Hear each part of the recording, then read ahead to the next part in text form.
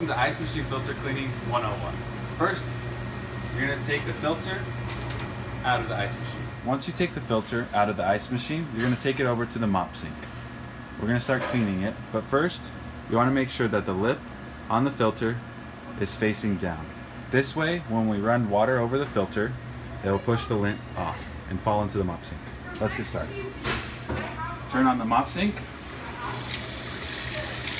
Take the water in the hose and gently cover the entire surface of the filter. As you do this, the lint will fall off into the sink.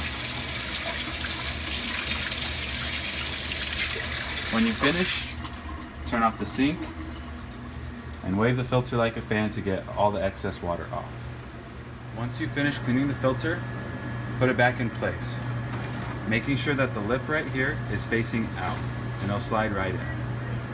Once and replace the filter, you'll take a damp rag and gently run it over the plastic covering of the filter, going from side to side.